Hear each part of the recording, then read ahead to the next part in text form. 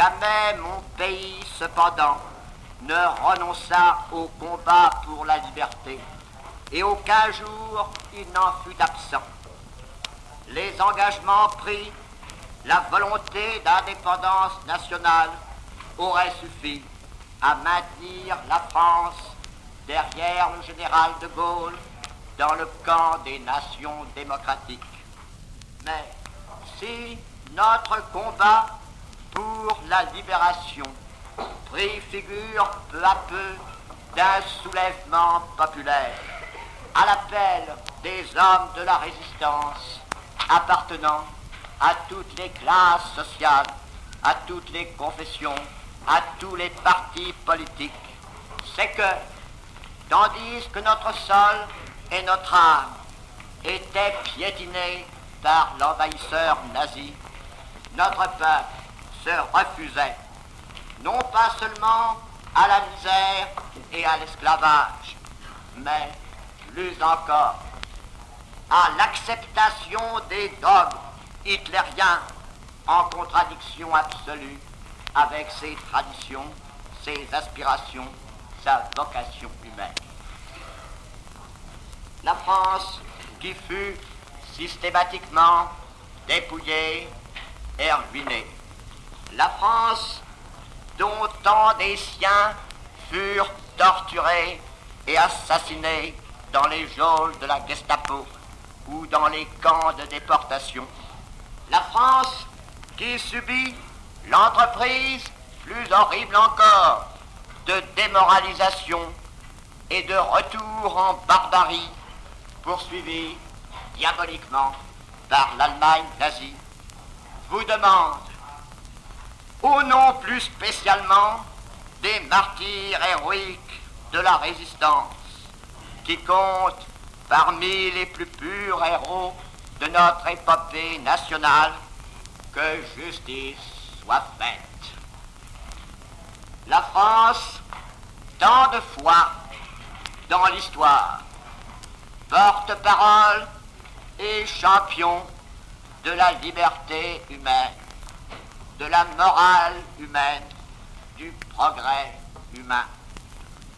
Se fait également aujourd'hui par ma voix l'interprète des peuples martyrs de l'Europe occidentale, Norvège, Danemark, Pays-Bas, Belgique, Luxembourg, peuple attaché plus que tous autres à la paix, et peuple parmi les plus nobles de l'humanité, par leurs aspirations, leur culte des valeurs de civilisation, peuple qui ont partagé nos souffrances et se sont refusés comme nous à renoncer à la liberté et à sacrifier leur âme devant l'entreprise de barbarie nazie.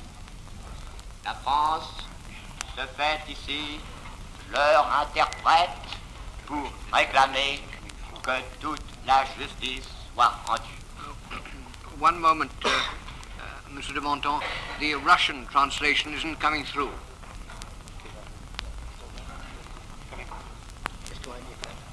Uh,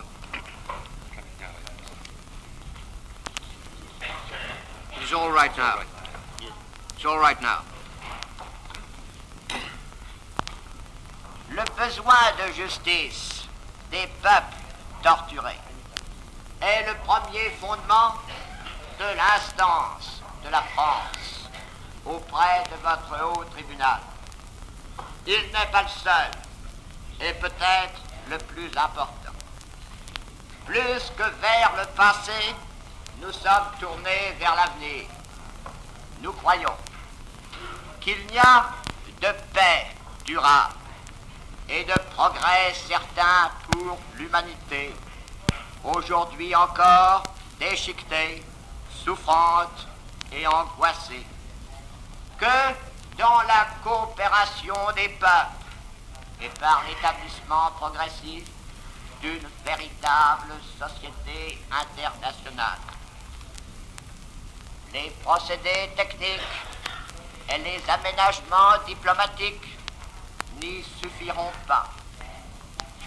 Il n'y a pas de nation équilibrée et durable sans un consentement commun aux règles essentielles de la vie en société, sans un comportement analogue devant les exigences de la conscience, sans une adhésion de tous les citoyens à des concepts identiques du bien et du mal. Il n'y a pas de droit interne qui ne se font pour qualifier et sanctionner les infractions pénales sur des critères d'ordre moral acceptés par tous, en un mot, sans une morale commune. Il ne peut y avoir demain de société des nations sans une morale internationale, sans une certaine communauté de civilisation spirituelle, sans une hiérarchie identique des valeurs. Le droit international sera appelé à reconnaître et à garantir la sanction des manquements les plus graves aux règles morales universellement admises. Cette morale et ce droit pénal international indispensable pour établir enfin la coopération pacifique et le progrès sur des bases durables. Nous ne pouvons plus les concevoir aujourd'hui avec l'expérience des siècles écoulés et plus précisément de ces dernières années. Après la masse inouïe et grandiose de sacrifices et de souffrances des hommes de toute race et de toute nationalité, que construit sur le respect de la personne humaine, de toute personne humaine, quelle qu'elle soit, ainsi que sur une limitation des souverainetés étatiques. Mais pour que nous puissions espérer fonder progressivement sur cette morale et sur ce droit international une société internationale dans la libre coopération des peuples, il est nécessaire qu'après avoir prémédité, préparé, déclenché une guerre d'agression qui provoqua la mort de millions d'hommes et la ruine d'un grand nombre de nations, après avoir ensuite accumulé les crimes les plus odieux au cours des années d'hostilité, l'Allemagne nazie soit déclarée coupable et ses dirigeants et ses principaux responsables sanctionnés comme tels. Sans cette condamnation et sans ce châtiment, les peuples ne croiraient plus à la justice. Lorsque vous aurez déclaré que le crime est toujours un crime, qu'il soit commis par une collectivité nationale à l'égard d'un autre peuple ou par un individu à l'égard d'un autre. Vous aurez affirmé par la même qu'il n'est qu'une morale qui s'applique dans les relations internationales aussi bien que dans les rapports individuels et que sur cette morale sont édifiées des prescriptions de droit reconnues par la communauté internationale. Alors, vous aurez vraiment commencé par la même à instituer une justice internationale.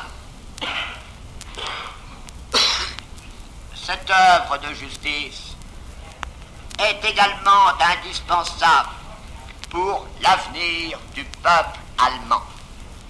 Ce peuple a été intoxiqué pendant des années par le nazisme. Certaines de ces aspirations éternelles et profondes ont trouvé dans ce régime une expression monstrueuse. Sa responsabilité entière a été engagée non seulement par son acceptation générale, mais par la participation effective d'un très grand nombre aux crimes commis.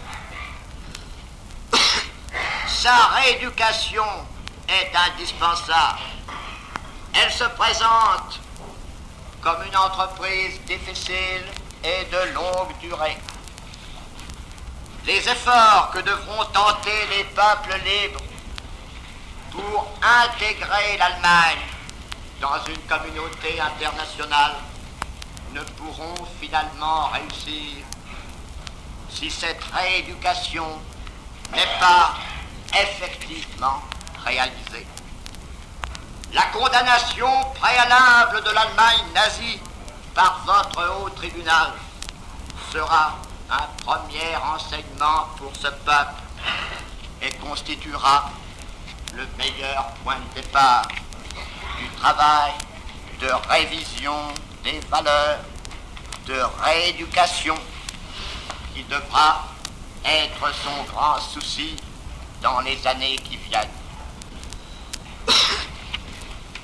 C'est pourquoi la France estime devoir demander au tribunal de qualifier juridiquement de crime et la guerre d'agression elle-même et les faits contraires à la morale et aux droits de tous les pays civilisés commis par l'Allemagne dans la conduite de la guerre.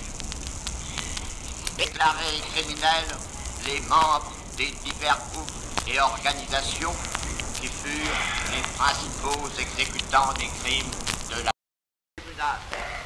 institué par les quatre États signataires de l'accord du 8 août 1945, agissant dans l'intérêt de l'ensemble des Nations Unies, est qualifié pour rendre à l'égard de l'Allemagne nazie la justice des peuples libres, la justice de l'humanité diverse. L'institution, par nos quatre gouvernements, d'un tribunal compétent pour juger les crimes commis par les principaux responsables de l'Allemagne nazie est solidement fondé sur les principes et sur l'usage du droit international. Un éminent juriste anglais le rappelait récemment. La pratique et la doctrine du droit international ont toujours reconnu aux États belligérants le droit de punir les criminels de guerre ennemis qui tombent en leur pouvoir. C'est une règle immuable de droit international qu'aucun auteur n'a jamais contesté. Ce n'est pas une doctrine nouvelle. Elle a pris naissance avec le droit international. Francisco de Vitoria et Grotius en ont posé les fondements des auteurs allemands du XVIIe, du XVIIIe siècle en ont développé la doctrine. C'est ainsi que Johann Jacob Moser, écrivain positiviste du XVIIIe siècle, disait des soldats ennemis qui agissent contrairement au droit international n'ont pas, s'ils tombent entre les mains de leurs adversaires, à être traités comme prisonniers de guerre. Ils peuvent subir le sort des voleurs ou des assassins. Les poursuites que les États-Unis, la Grande-Bretagne, l'Union des républiques socialistes et soviétiques et la France exercent aujourd'hui contre les hommes et les organisations qui sont déférés devant votre haut tribunal par l'acte d'accusation lu à Berlin le 18 octobre 1945 repose donc sur un fondement juridique incontestable. Le droit, universellement reconnu par la doctrine internationale, de déférer les criminels de guerre à une juridiction répressive. Ce droit est renforcé encore par des considérations juridiques plus irréfutables peut-être. Le principe de l'application territoriale des lois pénales donne à tout État la faculté de punir les crimes commis sur son territoire. L'application du principe territorial couvre les violations du droit international dans le territoire soumis à l'occupation militaire.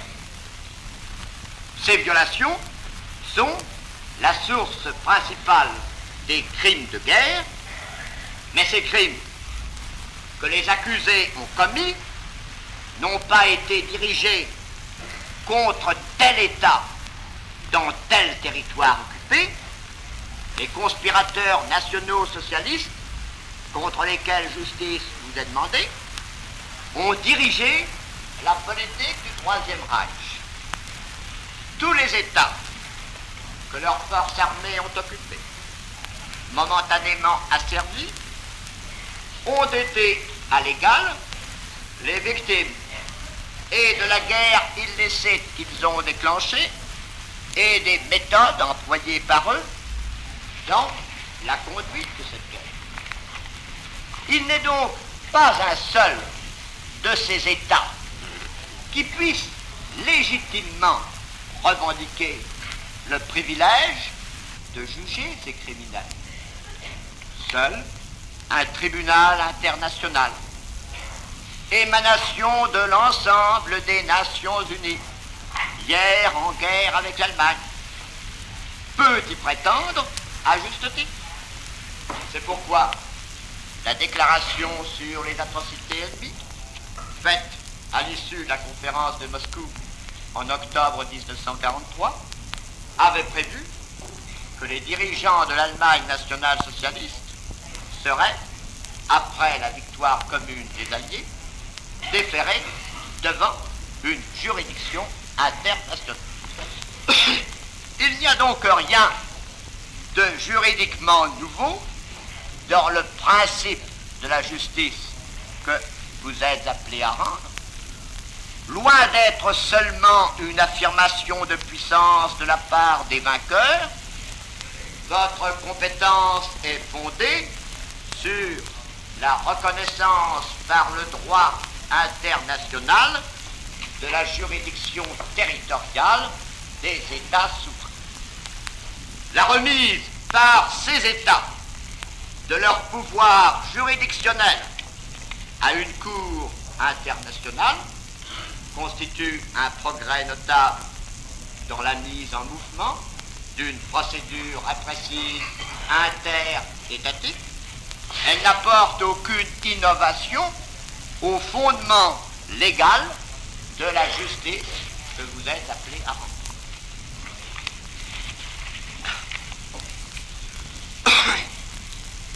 La qualification pénale des faits peut paraître se heurter davantage à des objections juridiques. Cette horrible accumulation, enchevêtrement de crimes contre l'humanité englobe et déborde à la fois les deux notions juridiquement plus précises de crimes contre la paix et de crimes de guerre. Mais je pense, et j'y reviendrai par la suite séparément, pour le crime contre la paix et pour le crime de guerre, que cet ensemble de crimes contre l'humanité ne constitue en définitive rien d'autre que la perpétration à des fins politiques et sous une forme systématique de crimes de droit commun tels que vol, pillage, mauvais traitement, mise en esclavage, meurtre, assassinat, crimes prévue et sanctionnée par le droit pénal de tous les États civilisés. Aucune objection générale d'ordre juridique ne semble donc entraver votre œuvre de justice. Au surplus, les inculpés nazis ne seraient pas habilités à arguer d'une prétendue absence de texte écrit pour fonder la qualification pénale que vous donnerez à leur forfait. La doctrine juridique du national-socialisme n'avait-elle pas admis qu'en droit pénal interne, même le juge peut et doit compléter la loi La loi écrite ne constituait plus la magna charta du malfaiteur. Le juge pouvait punir lorsqu'en l'absence de punition, le sentiment d'équité nationale-socialiste se trouvait gravement offensé. Comment le juge du régime nazi devait-il compléter la loi? Dans sa recherche d'une solution quasi légale, il agissait à la manière du législateur, partant de la base ferme du programme national socialiste. Il cherchait la règle qu'il aurait proclamée s'il était législateur. L'accusé Franck, dans son discours au Juristentag en 1936, déclarait Dites-vous à chaque décision que vous devez prendre comment déciderait le Führer à ma place. À chaque décision que vous devez prendre, demandez-vous cette décision peut-elle être mise en accord avec la conscience nationale socialiste du peuple allemand? Alors vous aurez une base ferme de conscience qui apportera aussi pour tous les temps dans votre sphère de décision l'autorité du Troisième Reich, puisée dans l'unité du tout populaire national socialiste et de la reconnaissance de la volonté du Führer Adolf. À ceux qui demain rendront la justice au nom de la conscience humaine, l'accusé Franck et ses complices seraient malvenus. De reprocher une absence de texte écrit assorti de sanctions, alors surtout qu'en dehors de diverses conventions internationales, ces textes, s'ils ne sont pas codifiés encore dans un code pénal interétatique, existent dans le code pénal de tous les pays civilisés.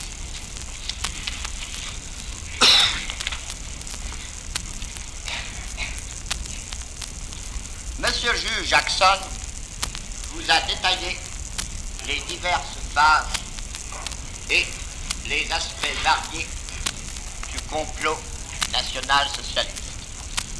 En sa préparation, son déroulement, depuis les premiers jours de la conspiration d'Hitler et de ses compagnons pour accéder au pouvoir, jusqu'au déchaînement de forfaits sans nombre dans une Europe presque entièrement à leur merci.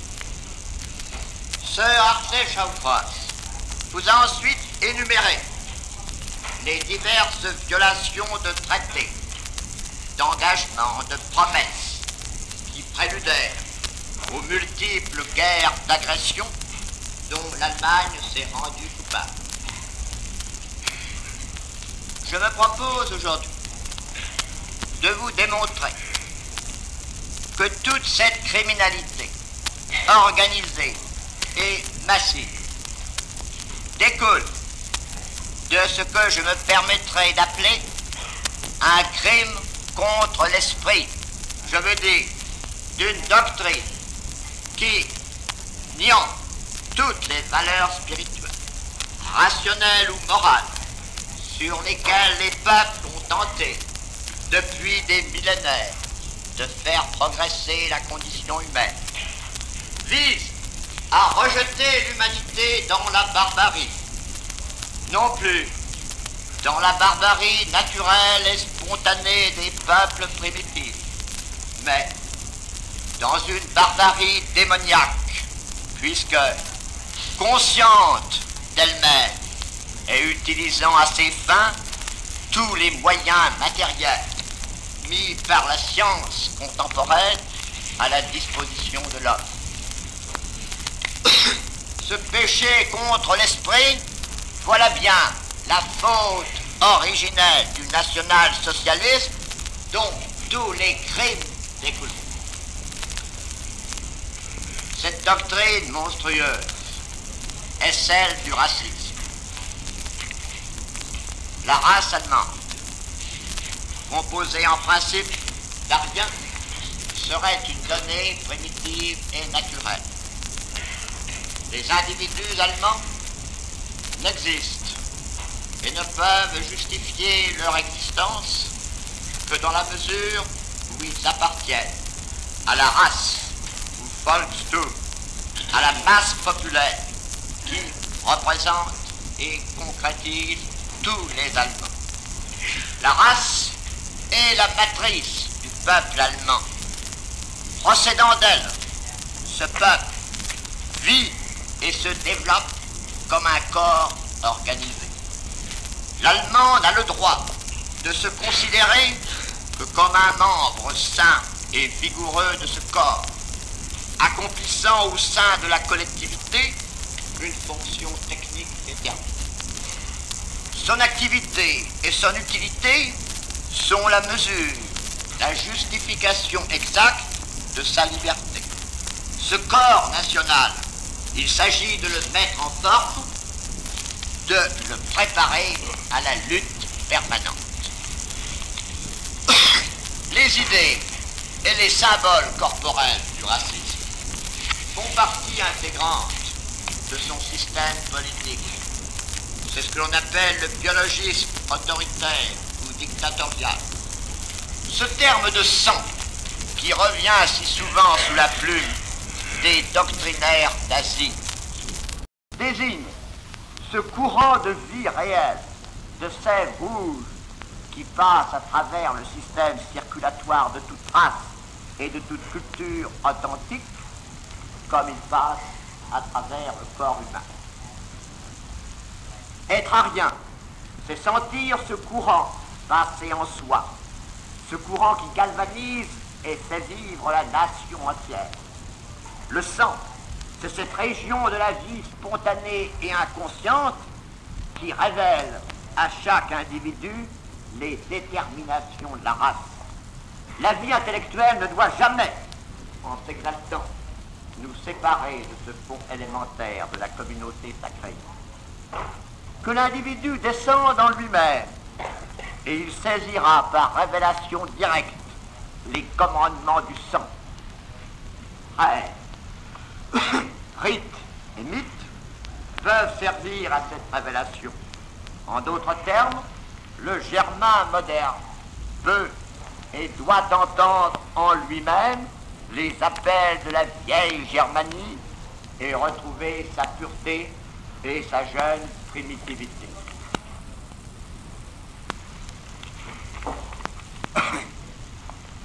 L'unité corps-âme, Leib, Einheit de l'individu ne saurait être discutée.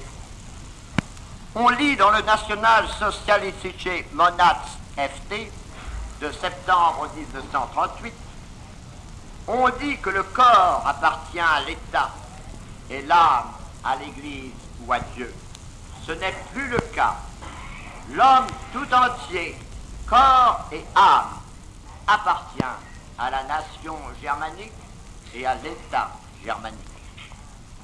Le national-socialisme affirme en effet que la conscience morale est le résultat de l'évolution orthogénétique, la conséquence des fonctions physiologiques les plus simples qui caractérisent l'individualité animale. Dès lors, la conscience morale est elle aussi soumise à l'hérédité et par suite soumise aux postulats et aux exigences de la race. Cette pseudo-religion ne répudie certes pas les démarches de la raison et l'activité technique, mais les subordonne rigoureusement, les ramène infailliblement au mythe racial. L'individu n'a pas de valeur en soi et n'a d'importance que comme élément de la race. Cette affirmation est logique si l'on admet que non seulement les caractères physiques et psychologiques, mais encore les opinions et les tendances sont liées non pas à l'individu, mais à la nation. Celui qui a des opinions différentes de la doctrine officielle est asocial ou malsain. Il est malsain parce que dans la doctrine nazie, la nation équivaut à la race. Or, les caractères de la race sont fixés. Une exception à la formation au point de vue spirituel ou moral constitue une malformation au même titre qu'un pied beau ou qu'un bec de lièvre. Doctrine totalitaire qui réduit l'individu à n'exister que par la race, pour la race, sans aucune démarche autonome, sans aucune fin propre. Doctrine totalitaire qui exclut tout autre concept, toute autre aspiration ou exigence que ceux qui se trouvent liés à la race, doctrine totalitaire qui élimine chez l'individu toute autre préoccupation que celle de l'intérêt de la race. Le national-socialisme aboutit à absorber la personnalité du citoyen dans celle de l'État, à nier toute valeur propre de la personne humaine. Nous sommes ramenés aux conceptions les plus antiques de la tribu barbare, toutes les valeurs de civilisation accumulées au cours des siècles se trouvent rejetées, toutes les notions de morale traditionnelle de justice et de droit disparaissent devant le primat de la race, de ses instincts, de ses exigences, de ses intérêts. La personne humaine, sa liberté, ses droits, ses aspirations n'ont véritablement plus aucune existence propre. On conçoit quelle distance existera dans cette conception raciale entre les participants de la communauté germanique et les autres hommes. Irréductible est la diversité des races. Irréductible aussi la hiérarchie qui oppose les races supérieures aux races inférieures. Le régime hitlérien a creusé un véritable abîme entre la nation allemande, seule dépositaire du trésor racial, et les autres nations. entre la communauté germanique et les populations abattardies de variétés humaines inférieures, il n'y a plus de commune mesure. La fraternité humaine est rejetée, plus encore que toutes les autres valeurs morales traditionnelles. Comment admettre que l'Allemagne, fécondée en, des siècles par l'Antiquité classique et le christianisme, par les idées de liberté, d'égalité, de justice sociale, par l'héritage commun de l'humanisme occidental, auquel elle avait apporté de si nobles et de si précieuses contributions. Et puis en arriver à cet étonnant retour à la barbarie primitive. Pour le comprendre et pour s'efforcer d'extirper définitivement demain de l'Allemagne le mal dont notre civilisation tout entière a failli périr, on doit se rappeler que le national-socialisme a des origines lointaines et profondes.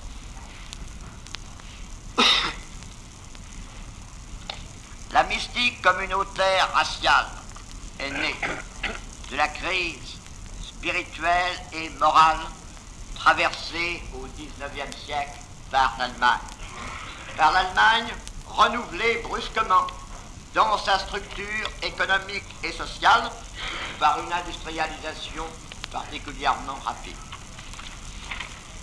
Le national-socialisme est en réalité l'un des sommets de la crise morale et spirituelle de l'humanité moderne bouleversée par l'industrialisation et par le progrès technique. L'Allemagne connut cette métamorphose de la vie économique et sociale non seulement avec une extraordinaire brutalité, mais alors qu'elle ne possédait pas encore l'équilibre politique et l'unité culturelle auxquels avaient atteint les autres pays de l'Europe occidentale. Tandis que s'affaiblissait la vie intérieure et spirituelle, une cruelle incertitude travaillait les esprits. Incertitude admirablement définie par ce terme de Ratlosigkeit, qu'on ne peut traduire en français, mais qui correspond à notre expression populaire, on ne sait plus à quel saint se vouer. Cruauté spirituelle du XIXe siècle, que tant d'Allemands ont décrite avec une tragique puissance d'évocation. Un vide béant s'ouvre dans les âmes désaxées par la recherche de nouvelles valeurs. Science naturelle et science de l'esprit donnent naissance au relativisme absolu, un scepticisme profond touchant la pérennité des valeurs dont l'humanisme occidental s'alimente depuis des siècles. Un darwinisme vulgaire se répand, déroute, affole les cerveaux. Les Allemands ne voient plus dans les collectivités et les races humaines que des noyaux fermés sur eux-mêmes, en lutte perpétuelle, les uns contre les autres. C'est au nom de la décadence que l'esprit allemand passe condamnation sur l'humanisme. Il ne voit dans ses valeurs et ses éléments constitutifs que des maladies. La cause en est, pense-t-il, un abus de l'intellectualisme et de l'abstraction. Un abus de tout ce qui réfrène les passions de l'homme en leur imposant des normes communes. L'Antiquité classique ne sera plus considérée sous ses aspects de raison ordonnée ou de rayonnante beauté. On y verra que des civilisations violemment déprises de lutte et de rivalité, reliées surtout à l'Allemagne par leur origine soi-disant germanique. On condamne le judaïsme sacerdotal et le christianisme sous toutes ses formes, comme religion d'honneur et de fraternité, bien faite pour tuer en l'homme les vertus de la force brutale. On s'élèvera contre l'idéalisme démocratique de l'ère moderne, puis contre toutes les internationales. Sur un peuple en cet état de crise spirituelle, de négation des valeurs traditionnelles, la dernière philosophie de Nietzsche devait exercer une influence dominante. En prenant comme point de départ la volonté de puissance, Nietzsche a prêché non certes l'inhumanité, mais la surhumanité. S'il n'y a pas de cause finale dans l'univers, l'homme, dont le corps est matière à la fois émotive et pensante, peut pétrir le monde à sa guise en choisissant pour guide une biologie combative. Si la fin suprême de l'humanité est un sentiment de plénitude victorieuse à la fois matérielle et spirituelle, il n'y a plus alors qu'à assurer la sélection des forts, la nouvelle aristocratie des maîtres. Pour Nietzsche, l'évolution industrielle entraîne nécessairement le gouvernement des masses, l'automatisme et la mise en forme des multitudes laborieuses. L'État ne dure que grâce à une élite de vigoureuses personnalités qui, usant des méthodes si admirablement définies par Machiavel, seul conforme aux lois d'avis, mènera les hommes simultanément par la force et par la ruse, car les hommes sont et restent méchants et pervers. Nous voyons surgir le moderne barbare, supérieur par l'intelligence et l'énergie volontaire, dégagé de toute morale conventionnelle, capable d'imposer aux foules obéissance et fidélité, en lui faisant croire à la dignité et à la beauté du travail, en leur assurant le bien-être médiocre dont elles se contentent si aisément. Une seule et même force se manifestera donc chez les maîtres par l'harmonie entre leurs passions élémentaires et la lucidité de leur raison organisatrice. Dans les masses, par l'équilibre entre les instincts obscurs ou violents et l'activité réfléchie imposée par une implacable discipline. Sans doute ne s'agit-il en aucune manière de confondre la dernière philosophie de Nietzsche avec le simplisme brutal du national-socialisme. Mais Nietzsche n'en compte pas moins parmi les ancêtres que revendiquait le national-socialisme et à juste titre. Parce que d'une part, il a été le premier à formuler de manière cohérente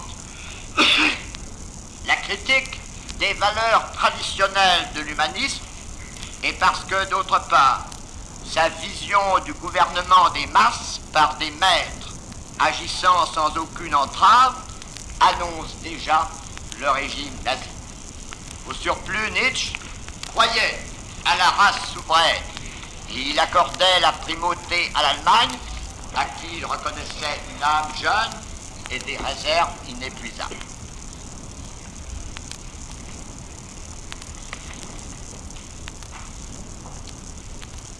Le mythe de la communauté raciale surgit des profondeurs de l'âme allemande désaxée par les crises morales et spirituelles de l'humanité moderne, rejoignait les thèses pan-germanistes traditionnelles.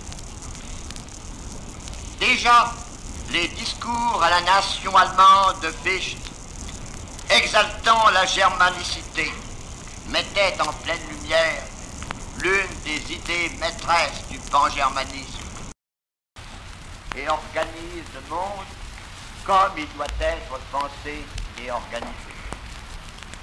L'apologie de la guerre est également ancienne. Elle remonte notamment à Fichte et à Hegel, qui avaient affirmé que seule la guerre, classant les peuples, établit la justice entre les nations.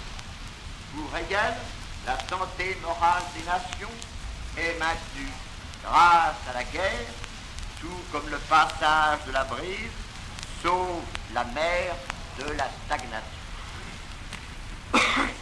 La théorie de l'espace vital apparaît dès le début du XIXe siècle.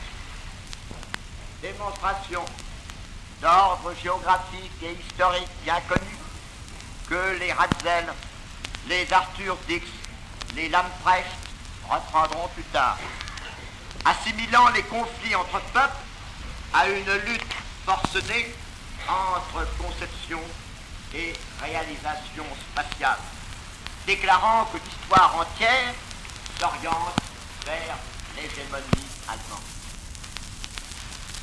Le totalitarisme étatique a également en Allemagne des racines profondes L'absorption des individus par l'État est souhaitée par Hegel, qui écrivait Les individus disparaissent en présence de la substance universelle, esprit du peuple ou État. Et celle-ci forme par elle-même les individus que ses propres buts exigent d'elle. National-socialiste n'apparaît donc en aucune façon dans l'Allemagne contemporaine, ni comme une éclosion spontanée qui serait due aux conséquences de la défaite de 1918, ni comme la simple invention d'un groupe d'hommes résolus à prendre le pouvoir. Le national-socialisme est l'aboutissement de toute une longue évolution doctrinale. L'exploitation par un groupe d'hommes de l'un des aspects les plus profonds et les plus tragiques de l'âme allemande. Mais le crime d'Hitler et de ses compagnons sera précisément d'exploiter et de déchaîner cette force de barbarie latente existant avant lui dans le peuple allemand, et cela jusqu'aux dernières conséquences. Le régime dictatorial institué par Hitler et ses compagnons entraîne pour tous les Allemands le soldatisme, à savoir un genre et un système de vie totalement différents de ceux que pratique le monde bourgeois de l'Ouest et l'Est prolétarien. Il s'agissait d'une mobilisation permanente et complète des énergies individuelles et collectives. Cette militarisation intégrale supposait un conformisme absolu des pensées et des actes, militarisation conforme à la tradition disciplinaire prussienne. La propagande communique aux masses la foi, l'élan, l'ivresse de la grandeur communautaire. Dans le racisme, dans une exaltation communautaire mystique, ces masses consentantes trouvent un dérivatif artificiel à leur angoisse morale, à leurs inquiétudes matérielles. Les âmes hier dispersées et dévastées se trouvent rassemblées dans un moule commun pédagogie nazie forme des générations nouvelles chez lesquelles ne subsiste plus rien des thèmes moraux traditionnels remplacés par le culte de la race et le culte de la force.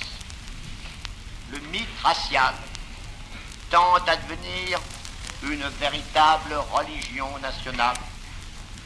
Beaucoup de publicistes rêvent se substituant à la dualité des confessions religieuses, d'un œcuménisme de formule allemande qui serait simplement la religion de la race allemande en tant que race. Au milieu du XXe siècle, l'Allemagne retourne volontairement par-delà le christianisme et la civilisation à la barbarie de la Germanie primitive. Elle rompt délibérément avec toutes les conceptions universalistes des nations modernes. La doctrine nationale socialiste qui élève l'inhumanité au rang d'un principe constitue véritablement une doctrine de désintégration de la société moderne. Cette doctrine entraînait nécessairement l'Allemagne à la guerre d'agression et à l'emploi systématique de la criminalité dans la conduite de la guerre. Le primat absolu de la race allemande, la négation de toute règle internationale, le culte de la force, l'exacerbation de la mystique communautaire, lui faisait considérer comme logique et justifié le recours à la guerre dans l'intérêt de la race allemande. Celle-ci a le droit strict de grandir aux dépens des nations jugées décadentes. L'Allemagne va recommencer en plein XXe siècle les grandes invasions barbares. Et tout naturellement et logiquement, elle mènera sa guerre à la mode barbare.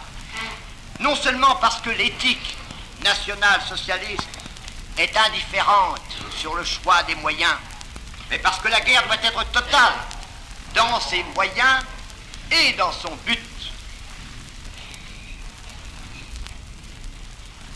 Qu'il s'agisse du crime contre la paix ou des crimes de guerre.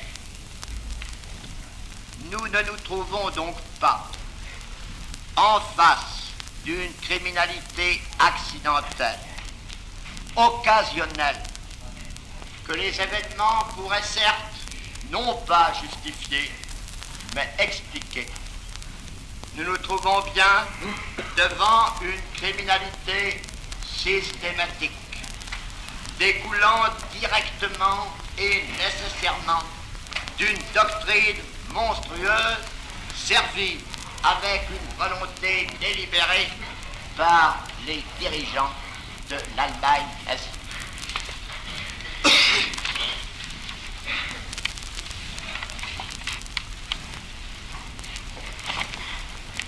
De la doctrine nationale socialiste découle directement la perpétration immédiatement poursuivie du crime contre la paix.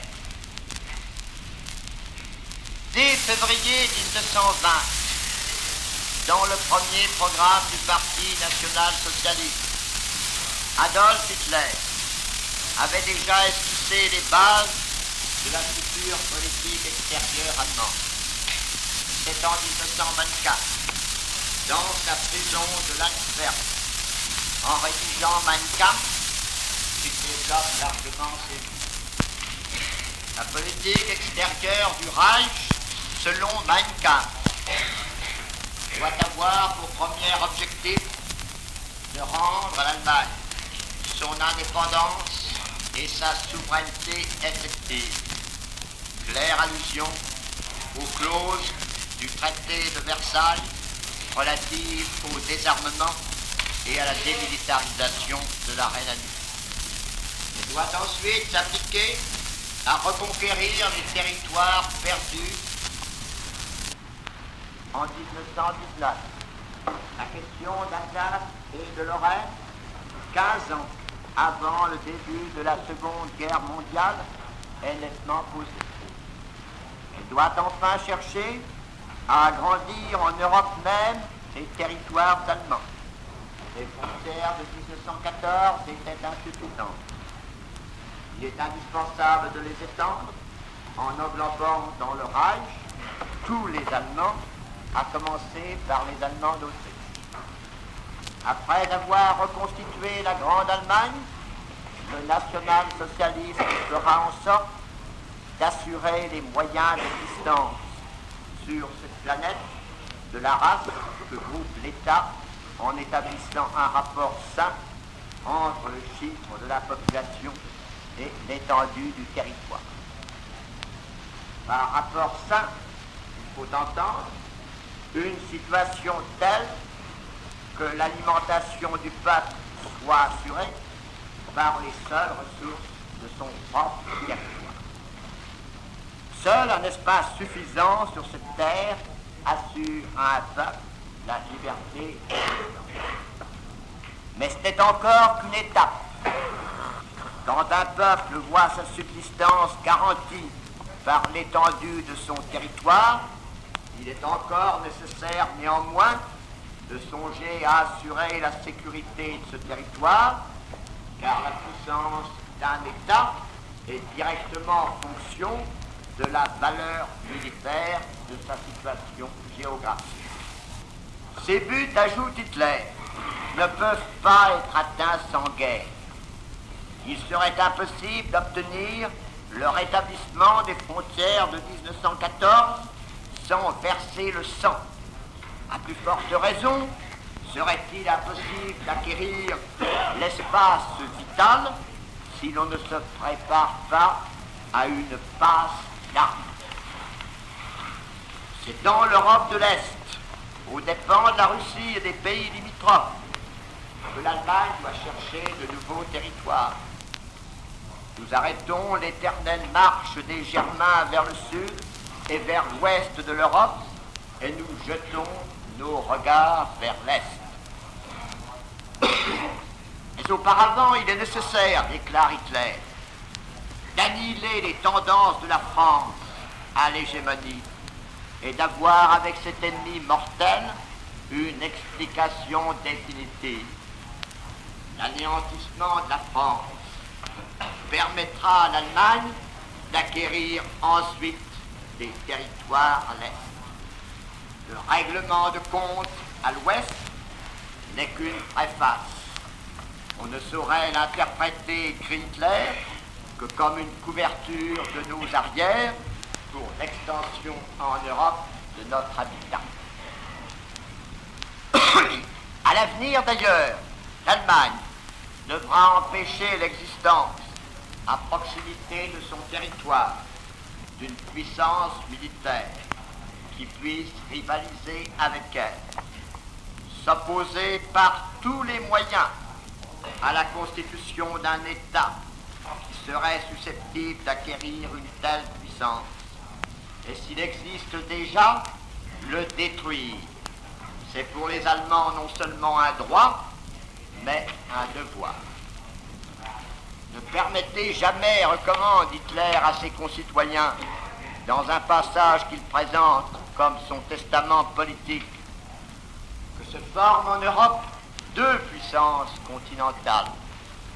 Dans toute tentative pour organiser aux frontières de l'Allemagne une deuxième puissance militaire, ne fût-ce que sous la forme d'un État susceptible d'acquérir une telle puissance, voyez une attaque contre l'Allemagne. Guerre pour reconquérir les territoires perdus en 1919. Guerre pour anéantir la puissance française. Guerre pour acquérir dans l'Europe de l'Est l'espace vital. Guerre enfin contre tout État qui serait ou qui pourrait devenir un contrepoids à l'hégémonie du Reich, voilà le plan de Mein Kampf. Ainsi, dès les premiers jours du national-socialisme, il ne recule devant aucune des certitudes de guerre que comporte l'application de sa doctrine. Et en effet, dès son arrivée au pouvoir, Hitler et ses compagnons s'attacheront à la préparation militaire et diplomatique des guerres d'agression auxquelles ils sont résolus.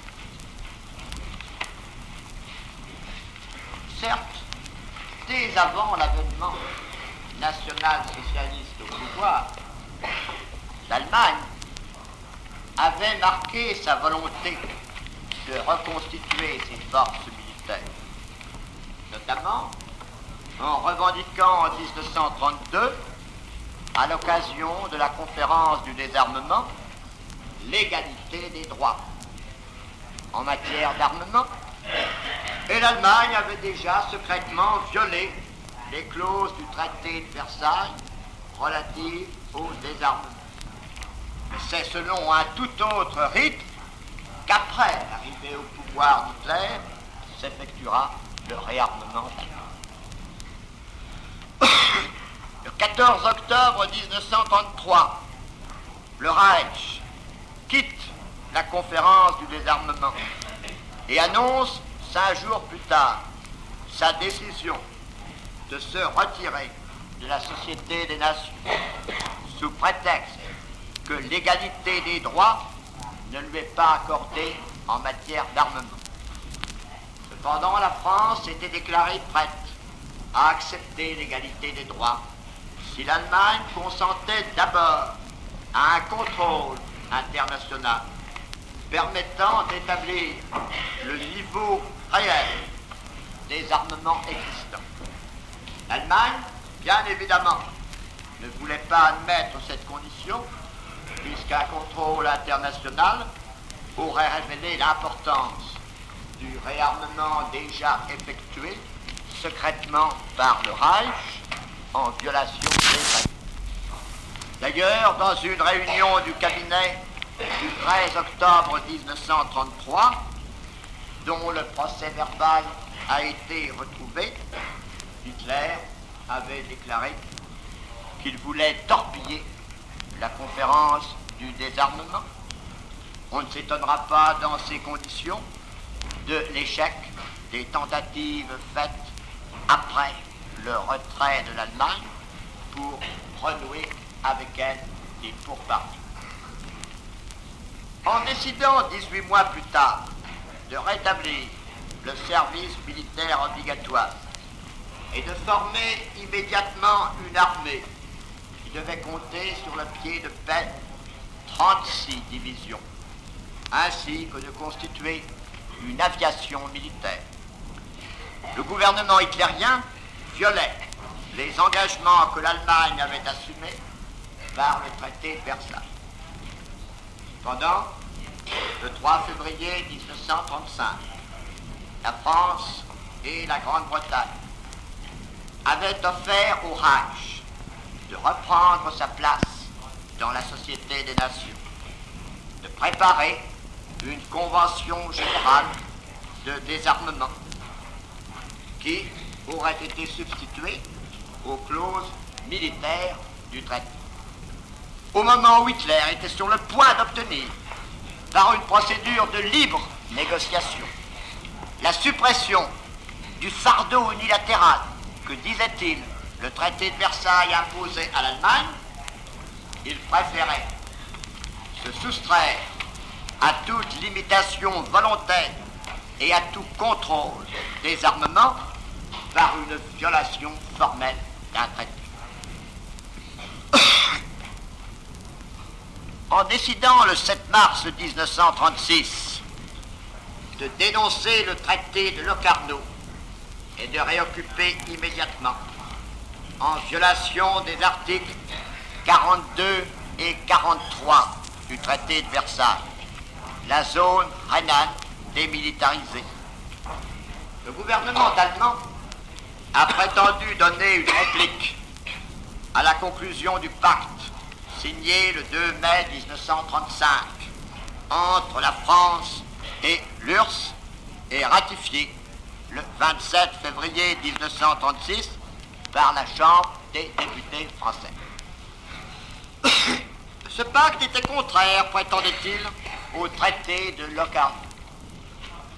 Simple prétexte qui n'a été pris au sérieux par personne, les dirigeants nazis voulaient commencer au plus vite dans la zone rhénane démilitarisée la construction de la ligne Siegfried afin de paralyser une intervention militaire que pourrait entreprendre la France pour secourir ses alliés de l'Est.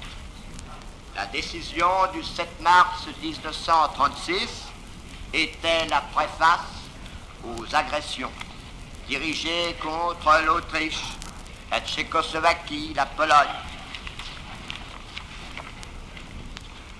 Sur le plan intérieur, le réarmement a été accompli grâce à un ensemble de mesures économiques et financières qui ont affecté tous les aspects de la vie nationale. Toute l'économie est dirigée dans le sens de la préparation de la guerre. Les membres du gouvernement proclament la priorité des fabrications d'armement sur toutes les autres branches de la production. La politique prime l'économique. Il faut, déclare le Führer, que la population se résigne à être rationnée pour un temps en beurre, en graisse ou en viande, pour que le réarmement puisse s'accomplir au rythme voulu. Le peuple allemand ne proteste pas contre ce mode d'ordre.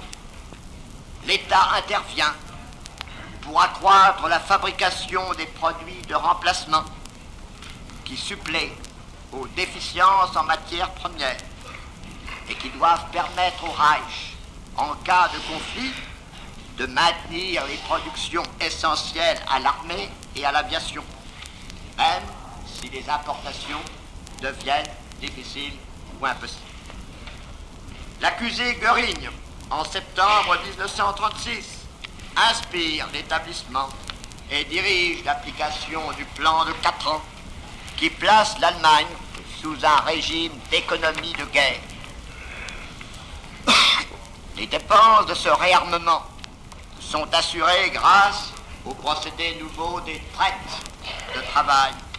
L'accusé charte, pendant les trois ans et demi qu'il passe à la tête du ministère de l'économie du Reich, crée ce mécanisme financier et joue de ce fait un rôle éminent dans la préparation militaire, ainsi qu'il le rappelait lui-même après son départ du ministère, dans un discours prononcé en novembre 38 au Conseil économique de l'Académie allemande.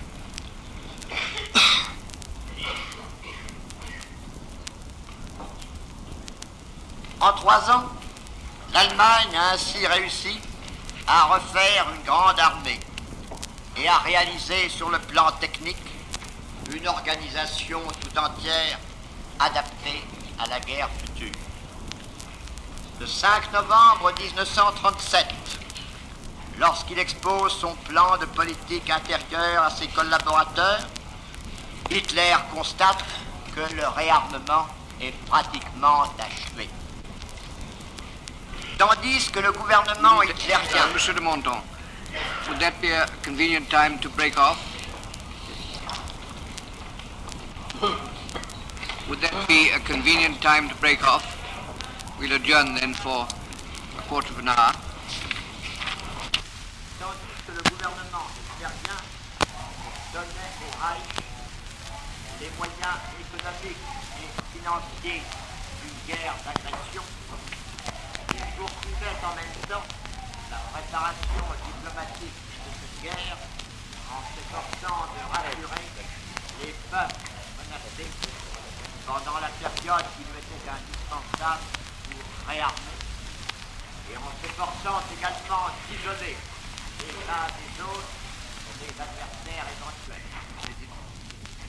Dans un discours du 17 mai 1933, Hitler, en demandant la révision du traité de Versailles, affirme qu'il ne songe pas à l'obtenir par la force. Il déclare reconnaître les exigences légitimes de tous les peuples. Affirme ne pas vouloir germaniser ceux qui ne sont point allemands.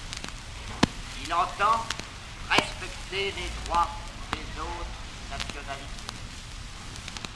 Conclusion, le 26 janvier 1934, du pacte de non-agression.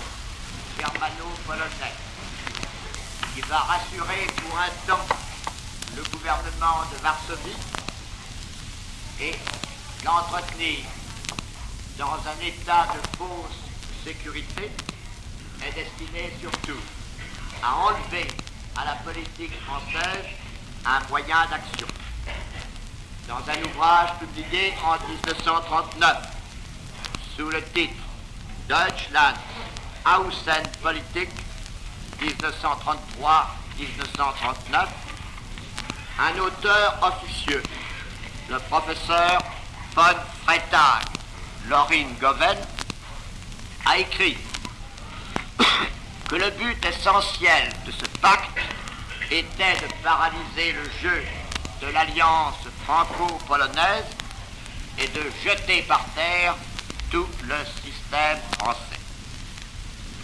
La négociation que l'Allemagne engage avec l'Angleterre le 26 mai 1935, dix jours après la dénonciation des clauses militaires du traité de Versailles, et qui aboutira à l'accord naval du 18 juin 1935, a pour but de rassurer l'opinion publique anglaise en lui montrant que le Reich, s'il veut redevenir une grande puissance militaire, ne songe pas à reconstituer une grande force navale. Au lendemain du plébiscite du 13 janvier 1935, qui décide du retour de la Sarre au Reich, Hitler proclame solennellement qu'il ne posera plus aucune exigence territoriale à la France. Il emploiera la même tactique à l'égard de la France jusqu'à la fin de 1938, quand le 6 décembre 1938, Ribbentrop vient signer à Paris la déclaration franco-allemande qui reconnaît comme définitive les frontières entre les deux pays et qui indique que les deux gouvernements sont résolus sous réserve de leurs relations particulières avec des puissances tierces à se consulter mutuellement au cas où des questions qui les intéressent toutes deux risqueraient de conduire à des difficultés internationales. Il espère encore, selon le mot de l'ambassadeur de France à Berlin, stabiliser la paix à l'ouest pour avoir les mains libres à l'est. À l'Autriche, à la Tchécoslovaquie, Hitler n'a-t-il pas fait les mêmes engagements? Il signe le 11 juillet 1936 avec le gouvernement de Vienne un accord où il reconnaît l'indépendance de l'Autriche. Cette indépendance qu'il va détruire 20 mois plus tard. Il promet par l'accord de Munich, le 29 septembre 1938, de garantir ultérieurement, ultérieurement, ultérieurement, ultérieurement, ultérieurement, ultérieurement, l'intégrité du territoire tchèque qu'il envahit moins de six mois après.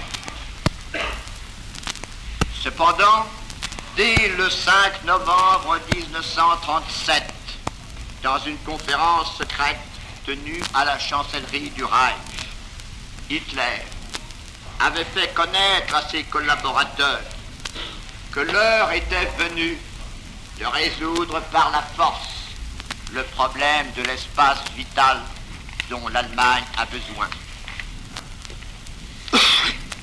La situation diplomatique est favorable à l'Allemagne.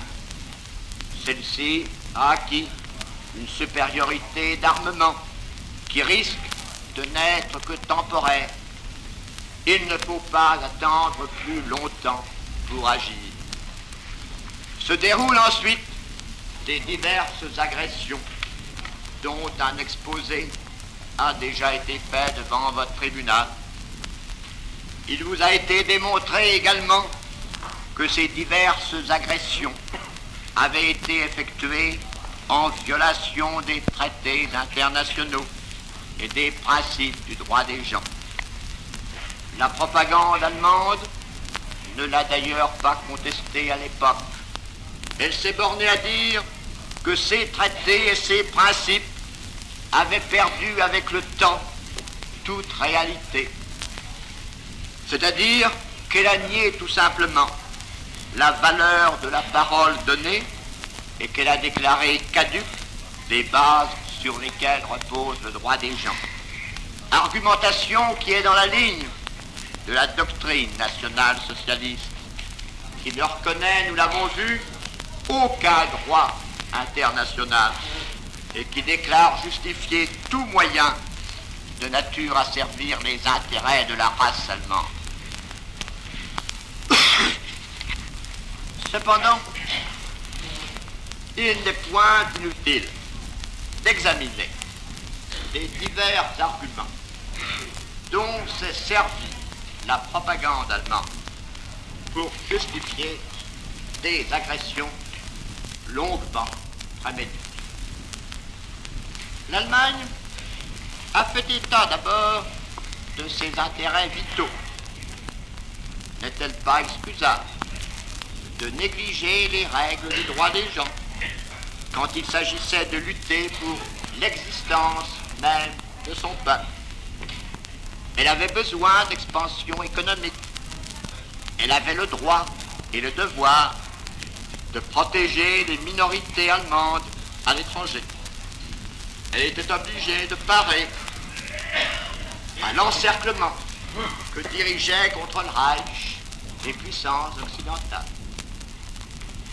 L'expansion économique a été une des raisons dont Hitler a fait état, même vis-à-vis de ses collaborateurs directs, dans les conférences secrètes tenues en 1937 et en 1939 à la chancellerie du Reich.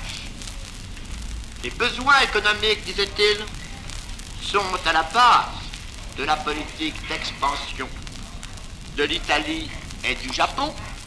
Ils y mènent aussi l'Allemagne.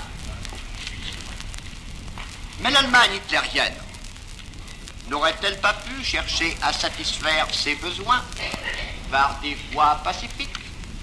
A-t-elle songé à obtenir par des négociations commerciales des possibilités nouvelles pour son commerce extérieur? Ce n'était pas à ces solutions que s'arrêtait le Führer. Pour résoudre les problèmes économiques allemands, il ne voyait qu'un moyen, l'acquisition de territoires agricoles, sans doute parce qu'il était incapable de concevoir ces problèmes sous une forme autre que celle de l'économie de guerre.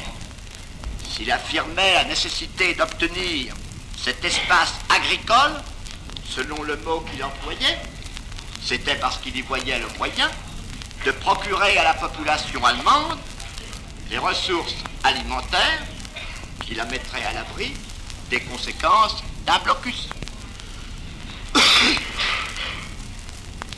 Le devoir de protéger les minorités allemandes à l'étranger a été le thème favori dont a fait usage de 1937 à 1939 la diplomatie allemande.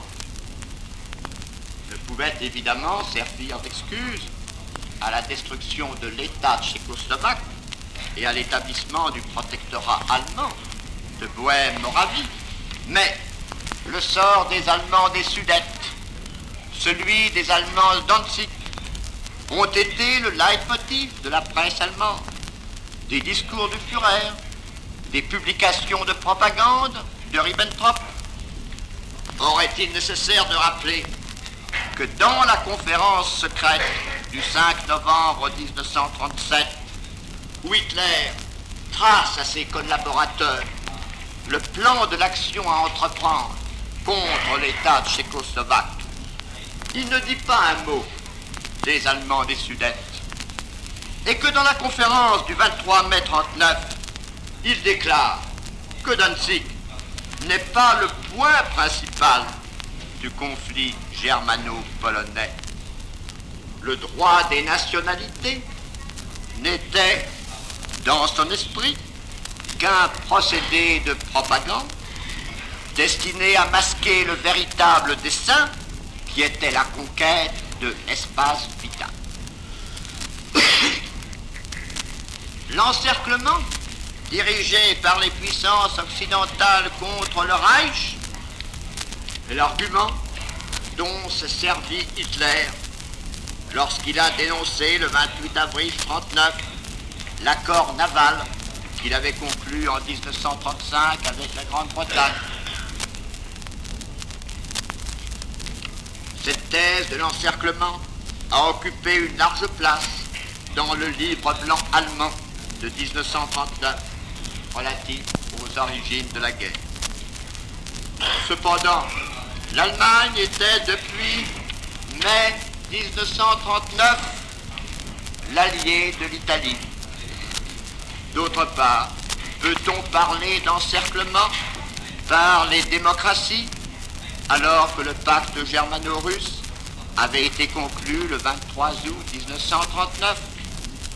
Et faut-il oublier que les efforts diplomatiques de la France et de la Grande-Bretagne auprès de la Grèce, de la Roumanie, de la Turquie, de la Pologne sont postérieurs soit à la destruction de l'État tchécoslovaque, soit au début du conflit diplomatique germano-polonais.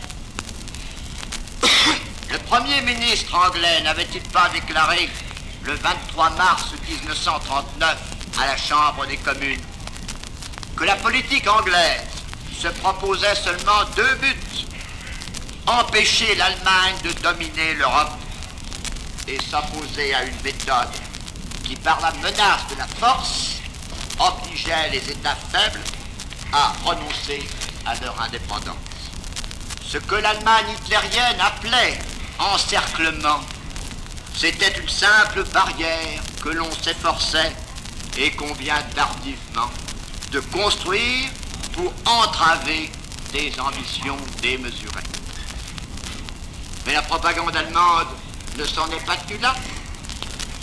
N'avons-nous pas vu un de ses porte-paroles mettre en parallèle la passivité de la France et de la Grande-Bretagne en septembre 1938 et la résistance qu'elles ont opposée en 1939 à la politique hitlérienne. Et en conclure que la paix aurait été maintenue si les puissances occidentales avaient fait pression sur la Pologne pour l'amener à accepter les exigences allemandes, comme elles avaient fait pression l'année précédente sur la Tchécoslovaquie. Étrange argument qui équivaut à dire que l'Allemagne aurait accepté de ne pas faire la guerre si toutes les puissances s'étaient inclinées devant sa volonté. Que la France et la Grande-Bretagne n'aient pendant longtemps opposé aux violations du droit des gens par l'Allemagne que des protestations platoniques. Est-ce une excuse pour les auteurs de ces violations? L'opinion publique en France et en Grande-Bretagne, trompée par les déclarations d'Hitler, a pu croire que les desseins du nazisme visaient seulement à régler le sort des minorités allemandes. Elle a pu espérer que les ambitions allemandes avaient un terme, ignorant des plans secrets allemands dont nous avons aujourd'hui la preuve. La France et la Grande-Bretagne ont laissé l'Allemagne réarmer et réoccuper la Rhénanie, alors qu'au témoignage de Ribbentrop lui-même, une réaction militaire de leur part aurait mis le Reich en mars 1936 dans une situation critique. Elles ont laissé faire les agressions de mars et septembre 38. Il a fallu la destruction de l'État tchécoslovaque pour faire apparaître enfin à tous les yeux la portée des plans allemands. Comment s'étonner qu'alors leur attitude ait changé et qu'ils aient décidé d'opposer une résistance aux plans allemands? Comment pourrait-on prétendre encore que la paix pouvait être achetée en août 1939 par des concessions, puisque les documents secrets allemands prouvent qu'Hitler était résolu à attaquer la Pologne dès mai 39 et qu'il aurait été profondément déçu si elle avait cédé et qu'il souhaitait la guerre générale. En réalité, la guerre était impliquée par l'avènement au pouvoir des nationaux socialistes, leur doctrine y conduisait nécessairement.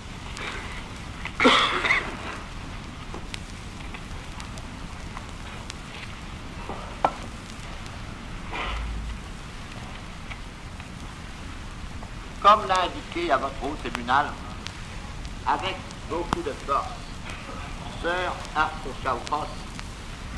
la guerre d'agression est de façon évidente une violation du droit international et très spécialement du traité général pour la renonciation à la guerre du 27 août 1928 connu sous le nom de pacte de Paris ou de pacte brillant Kellogg, dont l'Allemagne est l'un des signataires. Ce pacte continue à faire partie du droit international. Je me, permets, je me permets de relire l'article premier.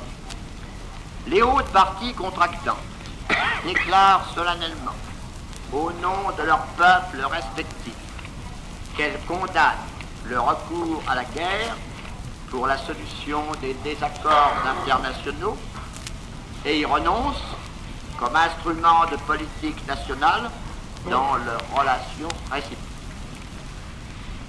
La guerre d'agression a donc cessé depuis 1928 d'être licite. Sir Arthur Shawcross vous a dit avec éloquence que le pacte de Paris, nouveau droit des nations civilisées, devait être le fondement d'un ordre européen meilleur. Le pacte de Paris, qui reste la charte fondamentale du droit de la guerre, marque en effet une étape essentielle dans l'évolution des relations inter-étatiques. Les conventions de la haie avaient réglementé le droit de la conduite de la guerre. Elles avaient institué l'obligation d'un recours à l'arbitrage comme préliminaire de tout conflit. Elles avaient essentiellement établi une distinction entre les actes de guerre auxquels la loi et la coutume internationale permettent de recourir et ceux dont elles prohibe l'exécution. Ces conventions de la n'avaient pas atteint le principe même de la guerre qui restait en dehors du domaine juridique. Il est au contraire mis en cause par le pacte de Paris qui réglemente le droit de la déclaration de guerre. Depuis 1928, le droit international de la guerre est sorti de son cadre réglementaire. Il a dépassé l'empirisme des conventions de la haie pour qualifier le fondement légal du recours à la force.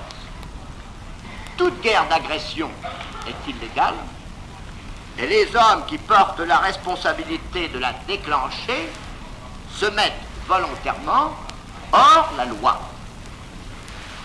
Qu'est-ce à dire? Sinon que tous les crimes qui seront commis à la suite de cette agression pour la poursuite de la lutte ainsi engagée cesseront d'avoir le caractère juridique d'acte de guerre. On connaît l'apostrophe de Pascal. Pourquoi me tuez-vous? Et quoi? Ne demeurez-vous pas de l'autre côté de l'eau?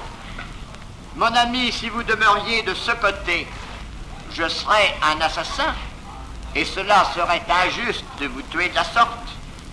Mais puisque vous demeurez de l'autre côté, je suis brave homme, et cela est juste. Les actes commis pour la poursuite d'une guerre sont des atteintes aux personnes et aux biens qui sont en eux-mêmes prohibés et sanctionnés dans toutes les législations. L'état de guerre ne pourrait les rendre licites que si la guerre elle-même était licite, puisque depuis le pacte brillant qu'elle loge, il n'en est plus ainsi.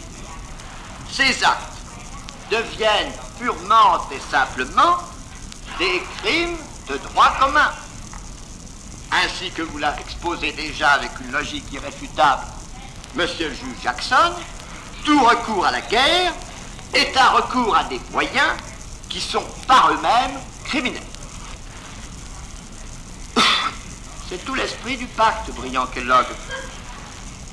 Celui-ci a voulu enlever aux États qui y consentent le droit de déclencher, pour leur intérêt national, une série d'actes dirigés contre les personnes physiques ou contre les biens de ressortissants de puissances étrangères.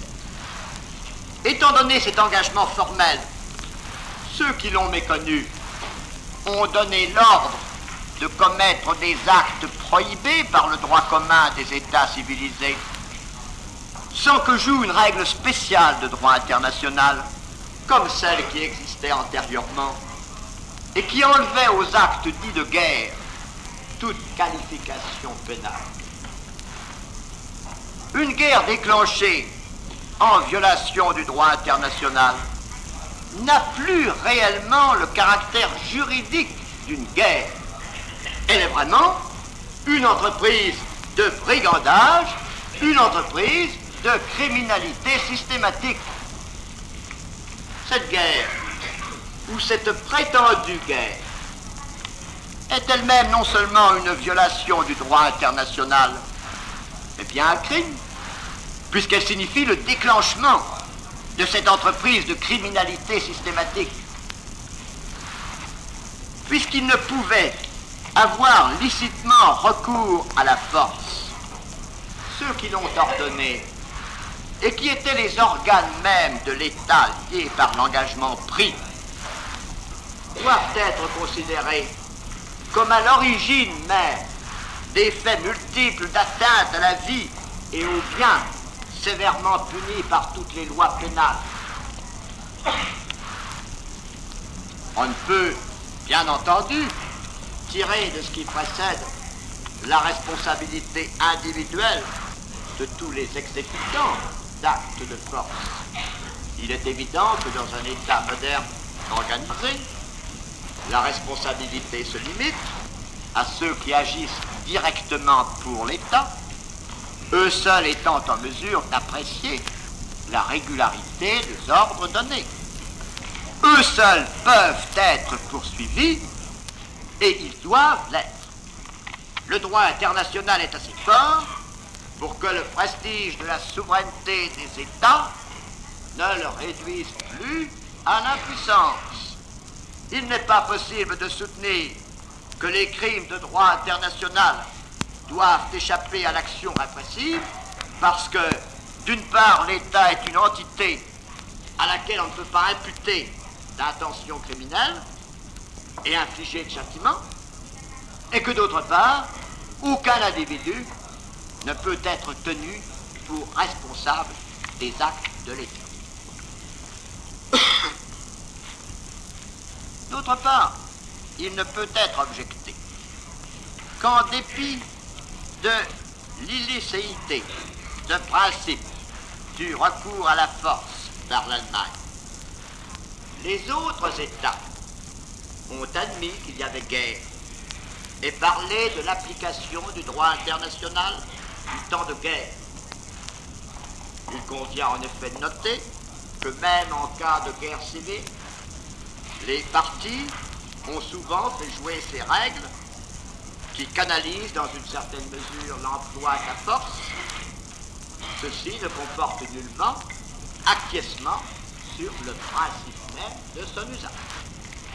D'ailleurs, quand la Grande-Bretagne et la France ont communiqué à la Société des Nations le fait que l'état de guerre existait entre elles et l'Allemagne, à dater du 3 septembre 1939, elles déclarèrent aussi qu'en commettant une action d'agression contre la Pologne, l'Allemagne avait violé ses obligations, assumées non seulement à l'égard de la Pologne, mais aussi à l'égard des autres signataires du pacte de Paris.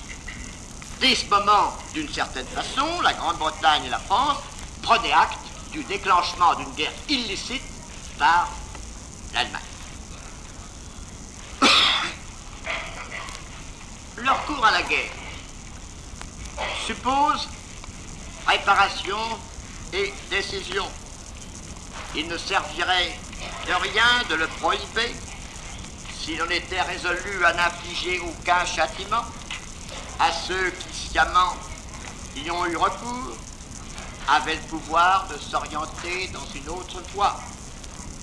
On doit bien les considérer comme les instigateurs directs des faits qualifiés crimes. De tout ceci, il résulte à l'évidence, nous semble-t-il, que le statut du 8 août n'a fait qu'établir une juridiction pour juger ce qui était déjà un crime international, non seulement devant la conscience de l'humanité, mais pour le droit des gens, avant même que ce tribunal ne fût établi.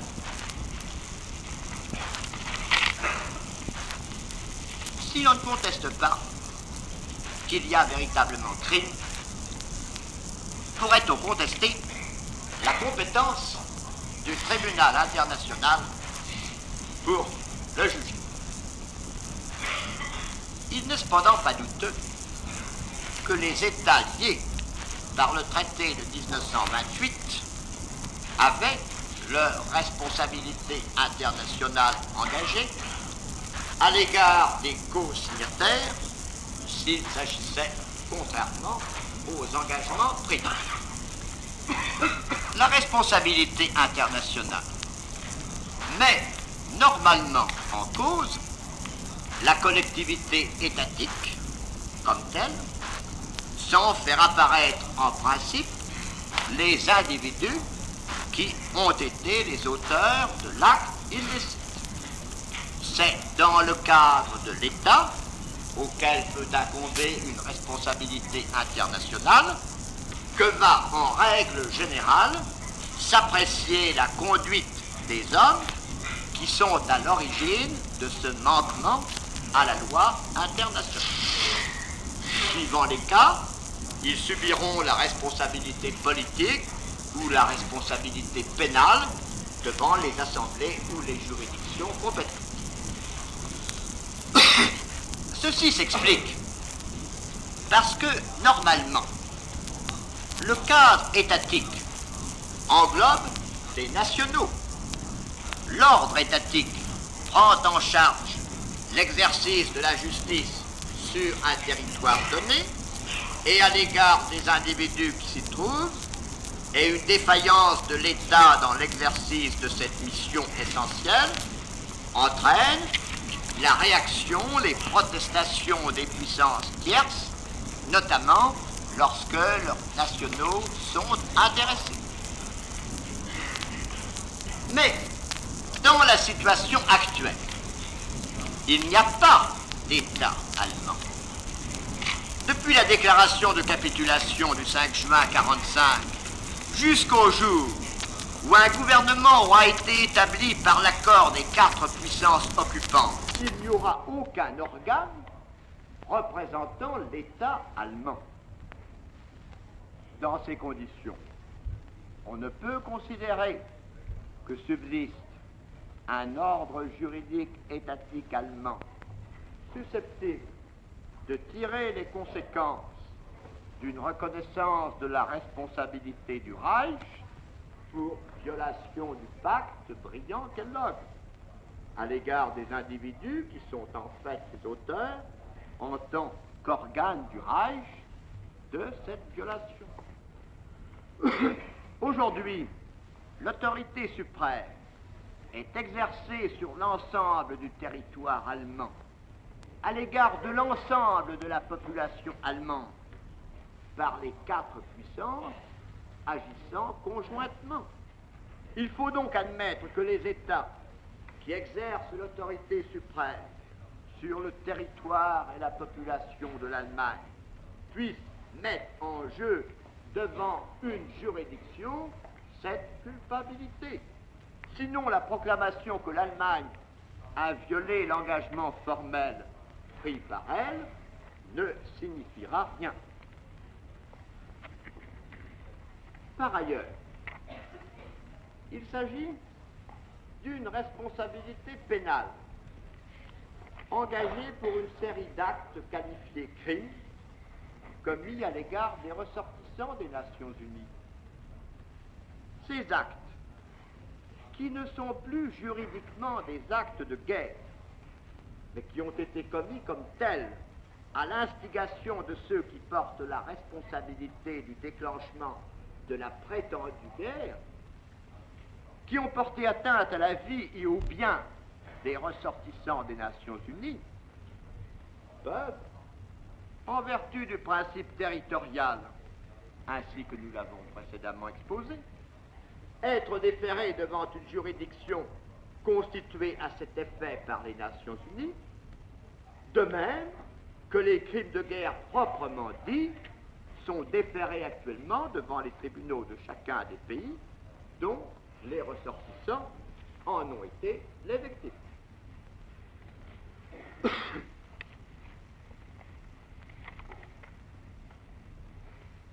les crimes commis par les nazis au cours de la guerre, de même que la guerre d'agression elle-même, seront la manifestation, comme il vous a été démontré par M. juge Jackson, d'un plan concerté et méthodiquement exécuté. Ces crimes découlent directement, comme la guerre elle-même, de la doctrine nationale socialiste. Cette doctrine est indifférente sur le choix moral des moyens pour obtenir le succès final. Et pour elle, le but de la guerre est le pillage, la destruction, l'extermination. La guerre totale, la guerre totalitaire dans ses méthodes et dans ses buts est commandée par le primat de la race allemande et la négation de toute autre valeur. La conception nazie retient la sélection comme un principe naturel. Et l'homme qui n'appartient pas à la race supérieure ne compte pas. La vie humaine, et moins encore la liberté, la personnalité, la dignité de l'homme, n'ont d'importance lorsqu'il s'agit d'un adversaire de la communauté allemande. C'est vraiment le retour à la barbarie avec toutes ses conséquences.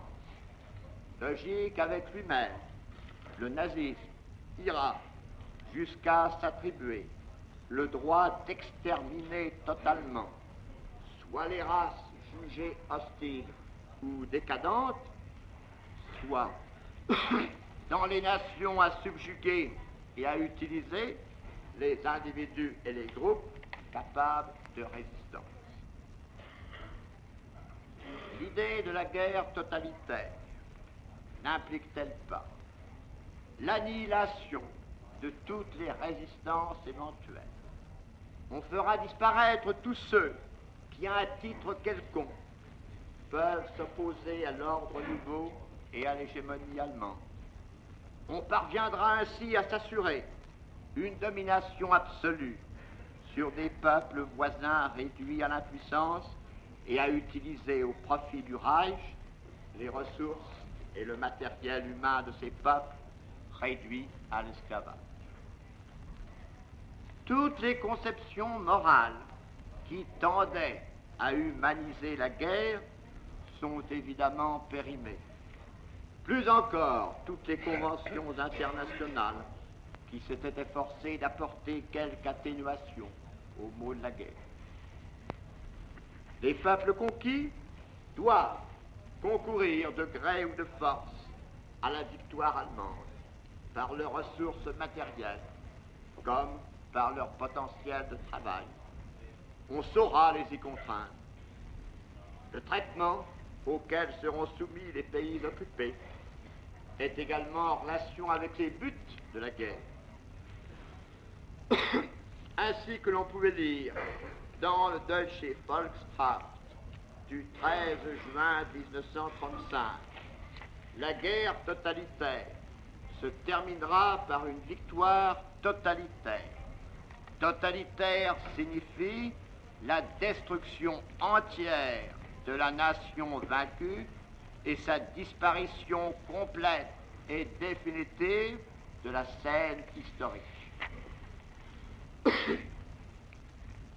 Entre les peuples vaincus, il convient de distinguer, selon que les nationaux socialistes les considèrent ou non, comme appartenant à la race des seigneurs. Pour les premiers, on s'applique à les intégrer au Reich malgré eux. Pour les seconds, on poursuit leur affaiblissement ou leur disparition par tout moyen, depuis l'appropriation des biens jusqu'à l'extermination des personnes. Vis-à-vis des uns comme des autres, les dirigeants nazis s'attaquent non seulement aux biens et aux personnes physiques, mais encore aux esprits et aux âmes. Ils recherchent à aligner les populations sur le dogme et le comportement nazi lorsqu'ils désirent les intégrer dans la communauté allemande. Ils s'appliquent tout au moins à extirper partout les concepts inconciliables avec l'univers nazi. Ils visent à réduire à une mentalité et à une condition d'esclaves les hommes dont ils veulent faire disparaître la nationalité au profit de la race allemande. S'inspirant de ces conceptions d'ensemble sur la conduite à tenir dans les pays occupés, les accusés ont donné des ordres particuliers ou des directives générales, ou s'y sont délibérément associés. Leur responsabilité peut être tenue à titre d'auteur, qu'auteur ou complice des crimes de guerre systématiquement commis entre le 1er septembre 1939 et le 8 mai 1945 par l'Allemagne en guerre. Ils ont délibérément voulu préméditer et ordonner ces crimes ou se sont sciemment associés à cette politique de criminalité organisée. Nous exposerons les divers aspects de cette politique de criminalité telle qu'elle s'est poursuivie dans les pays occupés de l'Europe de l'Ouest, en traitant successivement du travail forcé, pillage économique, du crime contre les personnes et du crime contre la condition humaine.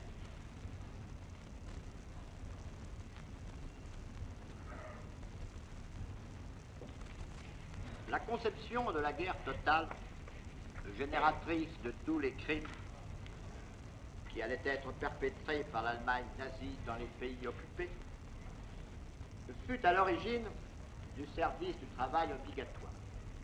Par cette institution, l'Allemagne se proposait d'utiliser au maximum le potentiel de travail des populations asservies afin de maintenir au niveau nécessaire la production de guerre allemande. En outre, nul doute que cette institution ne fut liée au plan général d'extermination par le travail des populations voisines de l'Allemagne, jugées par elle dangereuses ou inférieures. Un document du commandement suprême des forces armées allemandes en date du 1er octobre 1938, prévoyait l'emploi par la force des prisonniers et des civils pour les travaux de guerre. Hitler, dans un discours du 9 novembre 1941, ne doutait pas un instant que dans les territoires occupés que nous contrôlons à présent, nous ferons travailler jusqu'au dernier homme pour nous. À partir de 1942, c'est sous la responsabilité reconnue de l'accusé Sauken, agissant en liaison avec l'accusé Père, sous le contrôle de l'accusé Göring, délégué général du plan de quatre ans, que la main-d'œuvre obligatoire au profit de la guerre menée par l'Allemagne reçut tout son développement. Les méthodes de contrainte les plus différentes ont été simultanément successivement utilisées. réquisition de services dans des conditions incompatibles avec l'article 52 de la Convention de l'Aide. Volontariat fictif consistant à obliger un ouvrier, en usant de contraintes, à signer un contrat pour travailler en Allemagne. Conscription pour le travail obligatoire. Obligation faite aux prisonniers de guerre de travailler pour la production de guerre allemande ou leur transformation dans certains cas en travailleurs soi-disant libres. Incorporation de certains ouvriers étrangers, notamment français, alsaciens ou lorrains, et luxembourgeois au front allemand du travail. Tous ces procédés constituent des crimes contraires aux droits des gens en violation de l'article 52 de la Convention de l'Inde. Les réquisitions de service se font sous menace de mort. Le volontariat du travail s'accompagne de mesures de contraintes individuelles obligeant les ouvriers des territoires occupés à conclure des contrats. La durée de ces pseudo-contrats est ensuite unilatéralement et illégalement prolongée par les autorités allemandes. L'échec de ces mesures de réquisition ou de volontariat du travail conduit partout les autorités allemandes à recourir à la conscription. Hitler déclarait le 19 août 1942, dans une conférence du plan de quatre ans, dont l'accusé Speer a rendu compte, que l'Allemagne devait procéder au recrutement forcé si la base volontaire était irréalisable.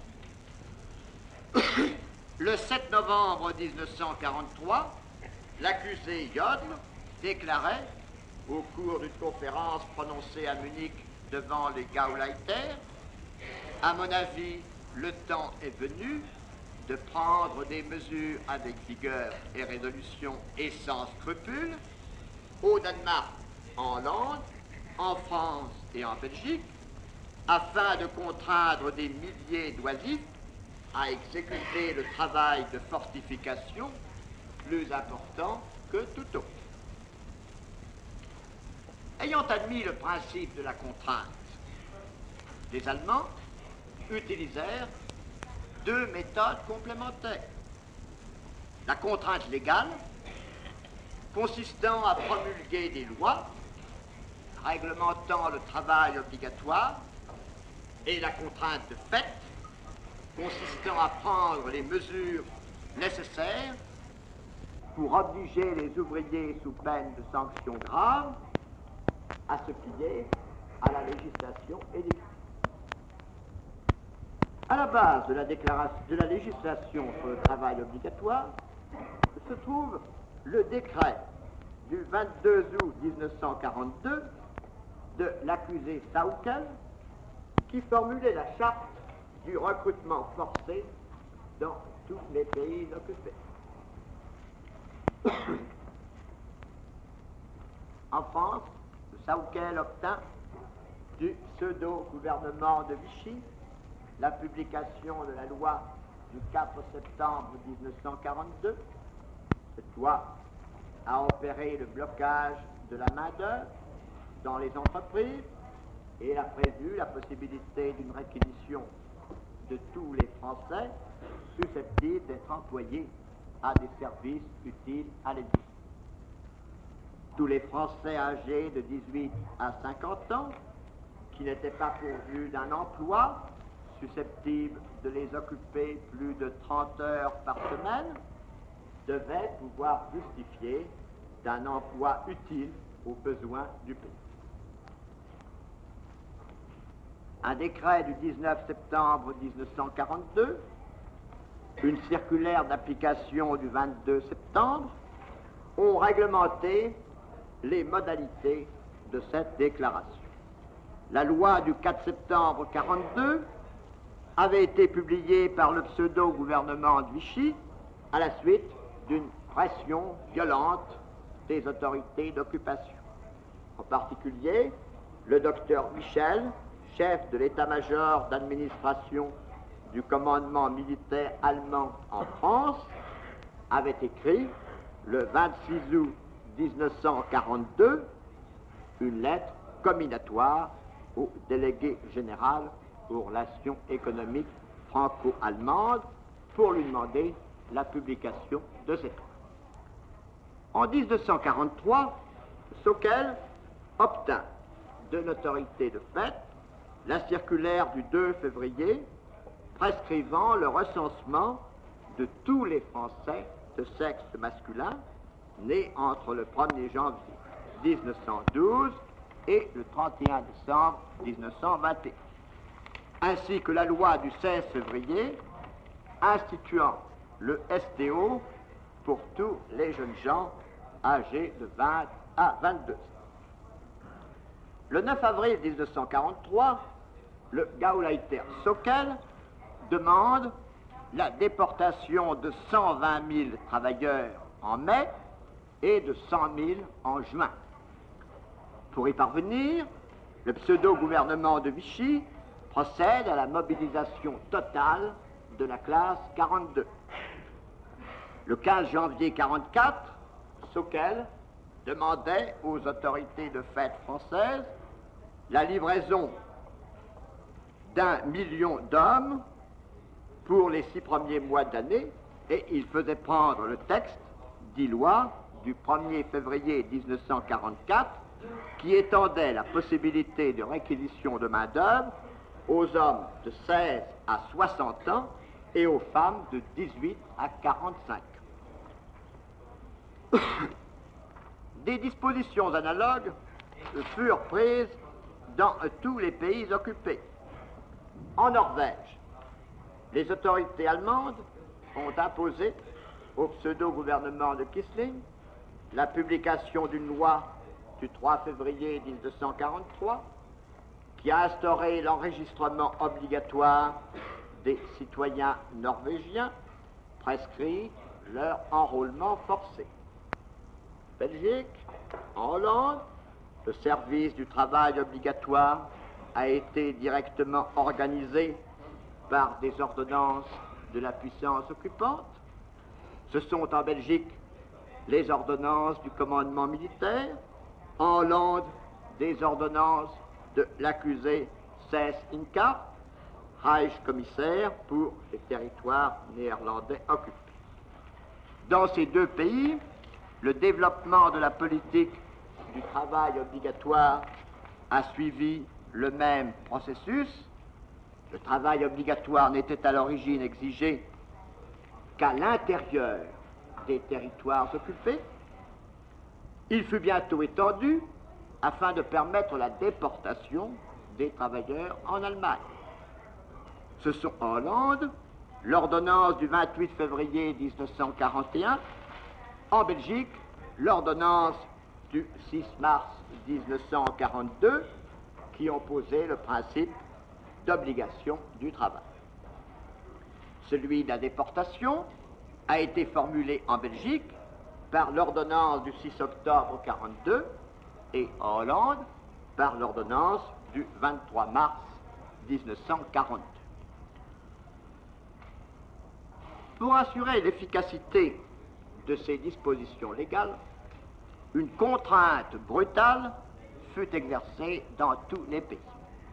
Des rafles nombreuses eurent lieu dans toutes les grandes villes. Par exemple, 50 000 personnes étaient arrêtées à Rotterdam les 10 et 11 novembre 1944. Plus grave que le travail forcé des populations civiles fut l'incorporation des travailleurs de pays occupés dans le service du travail du Reich. Cette incorporation n'est plus seulement une conscription de travailleurs, mais l'application de la législation allemande aux nationaux de pays occupés. Devant la résistance patriotique des travailleurs des différents pays occupés, les résultats considérables que le service du travail allemand avait escomptés furent très loin d'être atteints. Cependant, un nombre très important de travailleurs des pays occupés furent contraints de travailler pour la guerre allemande. En ce qui concerne l'organisation TOT, les ouvriers des pays occupés de l'Ouest, occupés à la construction du mur de l'Atlantique, étaient au nombre de 248 000 à la fin de mars 1943. En 1942, 3 300 000 ouvriers des pays occupés ont travaillé pour l'Allemagne dans leur propre pays. Entre autres, 300 000 en Norvège, 249 000 en Hollande, 650 000 en France. Le nombre des ouvriers déportés en Allemagne, provenant des territoires occupés de l'Ouest, monté en 1942 à 131 000 Belges, 135 000 Français, 154 000 Hollandais. Le 30 avril 1943, 1 293 000 ouvriers, dont 269 000 femmes, provenant des territoires occupés de l'Ouest, travaillaient pour l'économie de guerre allemande. Le 7 juillet 1944, Saukel déclarait que le chiffre des travailleurs déportés en Allemagne au cours des six premiers mois de 1944 se montait à 537 000, dont 33 000 Français. Le 1er mars 1944, il avait reconnu au cours d'une conférence de l'Office central du plan de 4 ans qu'il y avait en Allemagne 5 millions de travailleurs étrangers, dont 200 000 étaient de véritables volontaires. Le rapport du ministère français des prisonniers déportés et réfugiés indique le nombre total de 715 000 Français, hommes et femmes, déportés au total. Ajoutons que contrairement aux droits des gens, les ouvriers transportés en Allemagne se virent imposer des conditions de travail et des conditions d'existence incompatibles avec le plus élémentaire souci de la dignité humaine. L'accusé Saukel a indiqué lui-même que les ouvriers étrangers susceptibles de produire un rendement notable devaient être nourris de telle façon qu'ils puissent être exploités au plus haut degré possible avec le minimum de dépenses, en ajoutant qu'ils devaient être moins nourris dès que leur production venait à baisser et que l'on devait se désintéresser du sort de ceux dont le potentiel de production ne présente plus d'intérêt. Des camps spéciaux de représailles étaient organisés pour ceux qui essayaient de se soustraire aux obligations qui leur étaient imposées. Un ordre du 21 décembre 1942 ordonne l'envoi sans jugement dans ces camps de travailleurs récalcitrants. En 1943, Saukel, au cours d'une conférence interministérielle, déclare que le concours des SS lui était nécessaire pour mener à bien la tâche qui lui avait été confiée. Le crime du travail forcé et de la déportation entraînait ainsi toute une série d'autres crimes contre les personnes. Le travail des prisonniers de guerre ne restait pas davantage que le travail des civils dans les limites autorisées par le droit des gens. L'Allemagne nationale-socialiste obligea les prisonniers de guerre à travailler pour la production de guerre allemande en violation des articles 31 et 32 de la Convention de Genève. L'Allemagne nationale socialiste, en même temps qu'elle utilisait au maximum pour la guerre les prisonniers et les travailleurs des pays occupés, au mépris des conventions internationales, s'emparait par tous les moyens des richesses de ces pays. Les autorités allemandes y pratiquèrent un pillage systématique. S'entendons par pillage économique à la fois l'enlèvement des biens de toute nature et l'exploitation sur place des richesses nationales au profit de la guerre allemande. Ce pillage fut méthodiquement organisé. Les Allemands commencèrent par s'assurer partout les moyens de paiement. Ils pourront ainsi s'emparer avec une apparence régularité des biens qu'ils convoitent. Après avoir bloqué les moyens de paiement existants dans chaque pays, ils imposèrent des versements énormes sous prétexte d'indemnité pour l'entretien des troupes d'occupation. Rappelons qu'au terme de la Convention de l'Aix, les pays occupés peuvent être obligés de prendre à leur charge les frais nécessités par l'entretien de l'armée d'occupation. Mais les sommes réclamées à ce titre par les Allemands n'avaient qu'un rapport très lointain avec les frais réels d'occupation. D'autre part, ils obligèrent les pays occupés à accepter un système de clearing fonctionnant pratiquement au seul profit de l'Allemagne. Les importations d'Allemagne dans les pays occupés étaient quasi inexistantes. Les marchandises exportées en Allemagne par les pays occupés n'étaient l'objet d'aucun règlement. Afin de conserver aux moyens de paiement ainsi prélevés un pouvoir d'achat appréciable, les Allemands s'efforcèrent partout de stabiliser les prix et imposèrent un rationnement sévère.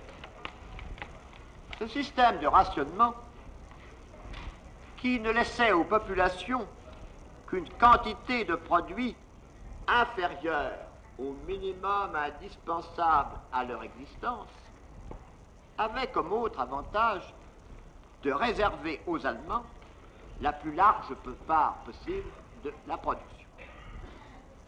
Les Allemands prirent ainsi une grande partie des stocks et de la production à la suite d'opérations en apparence régulières.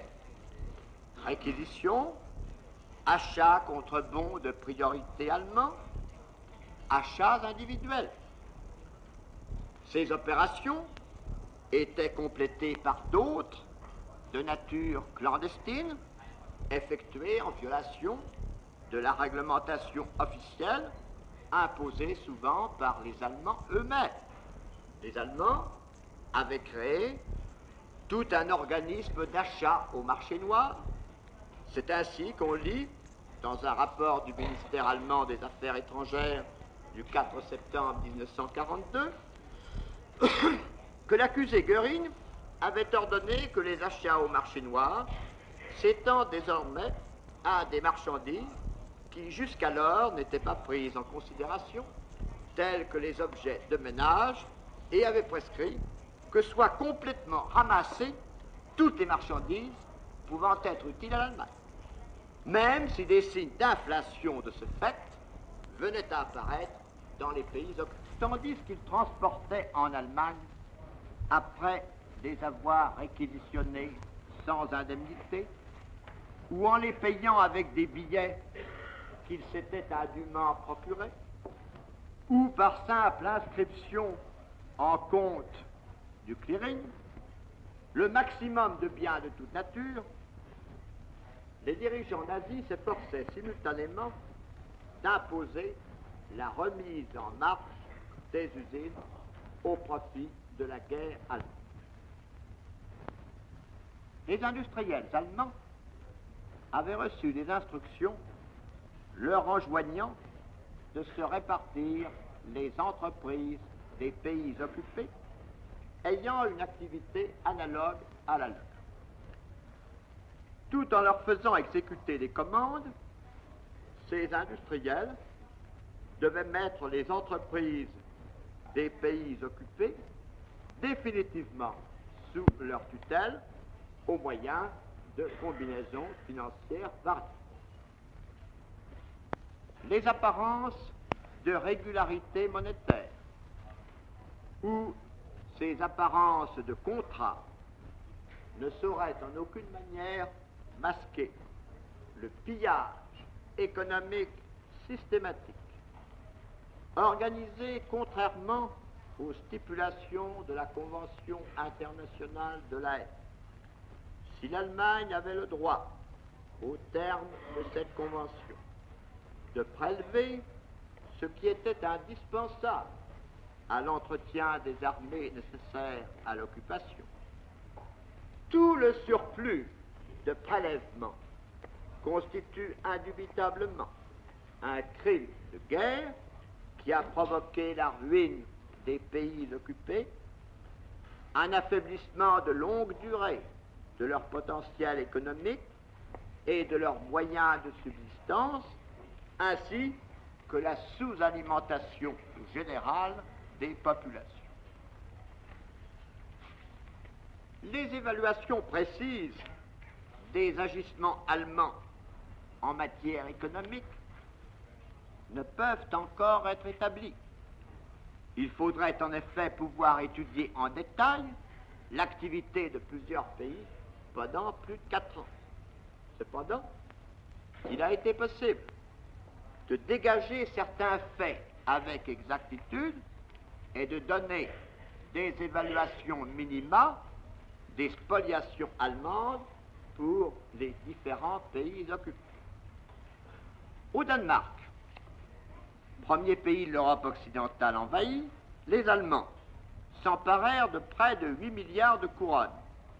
En Norvège, les spoliations allemandes dépassent la valeur de 20 milliards de couronnes. Le pillage allemand aux Pays-Bas fut tel que ce pays, en proportion de sa population l'un des plus riches du monde, est actuellement presque entièrement ruiné. Les charges financières imposées par l'occupant dépassant 20 milliards de florins. En Belgique, par divers procédés, notamment celui de l'indemnité d'occupation et du clearing, les Allemands se sont emparés pour plus de 130 milliards de francs belges de moyens de paiement. Le Grand-Duché de Luxembourg, lui aussi, a dû subir des pertes importantes du fait de l'occupation. En France, le prélèvement sur les moyens de paiement atteint 745 milliards de francs. Dans cette somme, nous ne comprenons pas les 74 milliards auxquels on peut chiffrer au maximum ce que l'Allemagne pouvait légitimement demander pour l'entretien de son armée d'occupation. Et d'autre part, le prélèvement en or de 9 milliards 500 millions a été calculé au taux de 30. En dehors de ce que l'Allemagne a réglé dans les pays occupés, à l'aide des moyens de paiement extorqués, comme nous venons de le dire, à ces pays, des quantités énormes de choses de toute nature ont été purement et simplement réquisitionnées, sans indemnité, prélevées, sans explication ou volées. Les occupants firent main basse, non seulement sur toutes les matières premières et produits fabriqués pouvant être utiles à leur effort de guerre, mais encore sur tout ce qui pouvait leur procurer du crédit sur les places neutres, valeurs mobilières, bijoux, objets de luxe, produits de luxe, de tout ça.